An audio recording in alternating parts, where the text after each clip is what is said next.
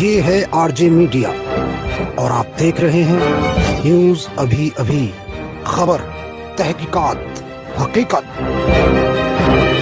सहारनपुर जनपद की थाना मंडी पुलिस को मिली बड़ी सफलता, नशे के तस्करों के साथ साथ अवैध हथियारों में भी किया कई को गिरफ़्तार।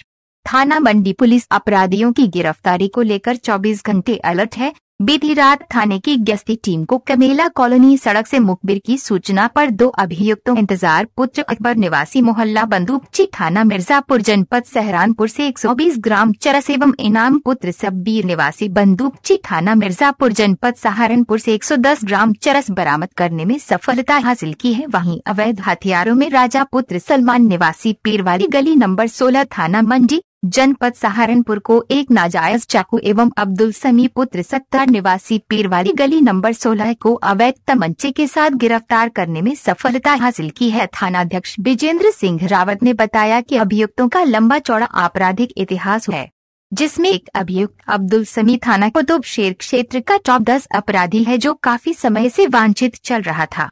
इस खुलासे में चौकी निर्यात निगम प्रभारी Sunil Kumar head constable Lokesh Kumar constable Sumit Kumar आदि को सफलता प्राप्त हुई।